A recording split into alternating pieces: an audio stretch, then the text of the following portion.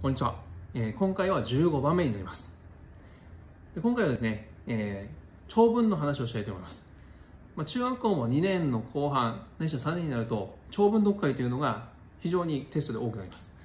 でそこで点数が取れるか取れないかというのはもちろん英語は読み解けるかどうかというところになってきますけれども文が長くなればなるほど英語を読み解くというのは難しくなります。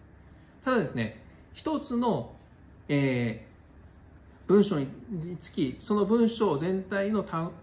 動詞というのは1しかありません。動詞になっている単語は1しかありません。ですのでそこを見抜けるかどうかというのは大事になります。で、えー、英語というのは必ず主語動詞の順で、えー、順になっているという話を最初にしましたけれどもそその主語は長いことがあるんですね。